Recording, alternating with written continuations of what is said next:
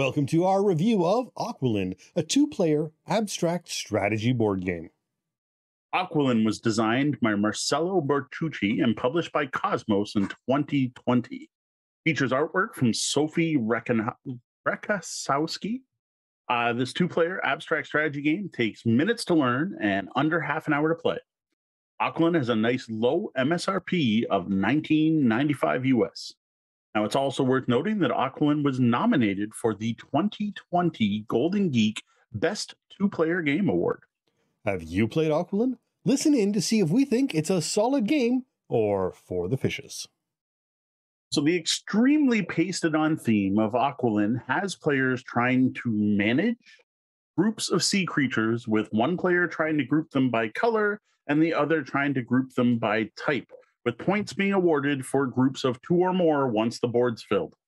One of the things that stands out about this game is the really great quality of tiles, which you can see for yourself on our Aqualin unboxing video on YouTube. Now, these tiles are Azul quality, though not nearly as colorful. They all come in the same color, blue, featuring one of six animals and one of six colors on each of the tiles with an equal representation of each game also comes with a board that's honestly nothing more than a six by six grid to place your tiles on and very clear and succinct rulebook. Simple enough. Well, now that we know we'll have an idea about what you get, how about you tell us how to play Aqualin? So Aqualin's very simple to learn. I'll teach you the entire game here and probably under a minute. One player plays species, the other player plays colors. You mix up all the tiles face down, then flip six face up. Starting player picks a tile and places it somewhere on the 6x6 grid board, then reveals a new piece. Going forward, each turn, players have the option to move one tile that's on the board orthogonally in a straight line until it hits another piece or the edge. They then place a new tile from the face up ones onto the board and reveal a new tile. This continues until the board's full, at which point you add up the points. Each player scores points for each group of orthogonally adjacent tiles in their type. Again, species or color. With two tiles being worth one, three tiles being worth three, four, five, five, ten, And if someone managed to get all six matching tiles to touch, they get a big 15 points. That's it. That's honestly all there is to it. Nice and easy to learn. So, what did you think of this tile laying game? So Aqualin's one of those easy to learn but difficult to master abstract strategy games. The rules are dead simple, but it's not until you actually start playing and specifically start sliding pieces around that you realize how much depth there really is here. In that way, Aqualin has a very chess like feel, where players will be trying to plan multiple turns ahead while playing the game. Though be warned that because, as well as moving pieces, your opponent can pick and place a tile that you planned on placing.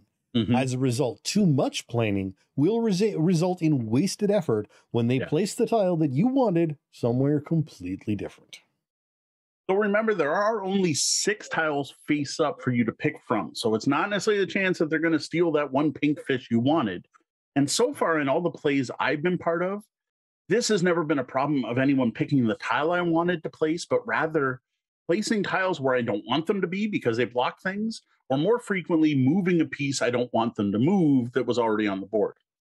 Over multiple plays, though, I have learned that my long term plans were often broken very early in the chain, like one or two turns in, and I've had to adapt my play.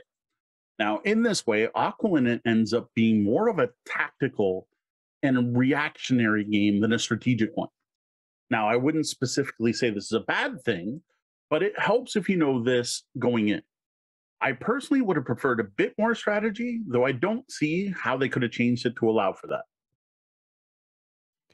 So I think this game benefits from those who are able to think and, more importantly, rethink strategy on the fly, as opposed to those who plan far enough with move trees, you know, the whole chess thing. Exactly.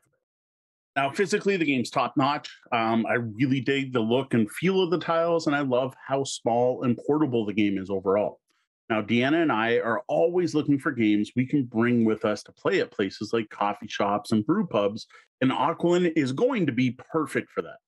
The only real problem as far as portability is concerned is the board. uh, the six by six grid, and we've been considering getting some type of other version to use, like a neoprene mat, maybe, or a mouse pad with a six by six grid on it. And then we can use this for this game, but also the Duke, which is another two player tile laying game we love that also uses a six by six grid.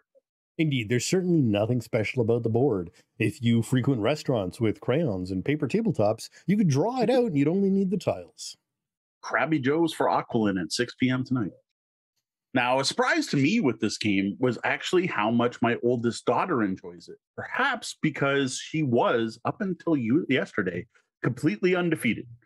Since getting the game, it's become a favorite for Deanna and Gwen to play together. They both enjoy it significantly more than I do. And it's not that I don't enjoy it myself, it's just that they're loving it more than me. For me, it kind of sits below Onitama, the Duke, and Patchwork on my two player game ladder. And honestly, three down is not a bad place to be. Yeah, I, I think I would probably put it above Patchwork, but it's not quite at Duke level for me. Totally fair. Now, one complaint I do have, and it's a minor one, is the choice of iconography and the theme. Like, really, the theme makes no sense. Like, uh, I I don't quite understand how the theme even applies. And well, in the middle of a game, it's not easy to see at a glance what's what.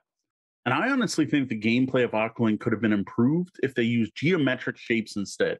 And what keeps coming to mind, and I honestly think there might be six shapes and six colors in it, is Qwirkle, as opposed to these kind of artistic angular fish and crabs that we have. Yeah, it, this one is an interesting thing. And I read there's a lot of uh, discussion about this. A lot of owners complain about the subtlety of the graphics and that bright lighting helps with the play. Okay. I actually think that this was a deliberate aspect of the game. Okay. The game makes you think about color and shape in a specific way that would have been reduced if you made it just more obvious. Uh, you get into that, um, you know, you look at the word red, but it's it's, it's written in green and you have to say the color of it. And there's a little bit of that brain work that's going on in this game. I think, I, I think that was deliberately implemented okay. by the designers. I could see that. So overall, our family's really been enjoying Aqualin since we got it. Um, it's a solid addition to our stable of two-player games. Great looking, quick to learn, and has that difficult to master thing going on, which honestly is a magic combo for any good abstract game. Got the bonus of being small and portable that will make it perfect for gaming at pubs and cafes, as well as breaking out at home if you're a fan of two player abstract strategy games, I don't think you're going to go wrong picking up a copy of Aqualin. Now, if you're looking for a thinky filler that's great for two players and simple to teach new players, this would also be a good choice. If what you love about abstract games, though, is the long term planning involving looking three, four, five, and six turns ahead, you may find Aqualin frustrating as the board state changes so frequently. You may just love it, though, so here, I think I leave this one up to you. Maybe seek out a copy to try or play before you can buy. Now, if you are looking for a very cool thematic underwater game where you're controlling hordes of fish, I, I, this isn't it. This is this is purely abstract. Um, one of the most pasted on themes I've ever seen. Um, like I get schools of similar animals gathering, at least one player, but like animals of the same color gathering together, that's that's too much of a stretch for me as noted above, I actually think I might have liked the game more if it just used geometric shapes and just went, look, we're an abstract, deal with it. Finally, if you're not a fan of abstract strategy games, chess like two player games where you're trying to outmaneuver your opponent, I don't think Aqualin's going to win you over. Though, with the really flat and short learning curve, if you get a chance, try the game out. Maybe it'll win you over and you'll be surprised. Well, that's it for our review of Aqualin from Kosmos. When you have time, I invite you to also check out the written review over at tabletopbellhop.com.